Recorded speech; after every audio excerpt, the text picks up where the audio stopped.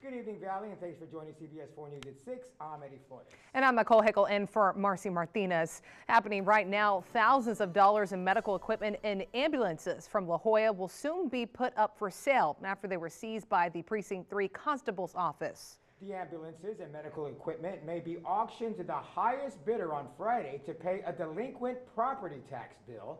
CBS 4's Patrick Shelvier is in La Joya with the very latest. I'm standing outside of the La Joya Fire Department where a ProMedic ambulance is currently stationed. However, just a few weeks ago, five of the company's ambulances were seized as a result of a tax warrant issued by the district court, and the items seized may hit the auction block on Friday.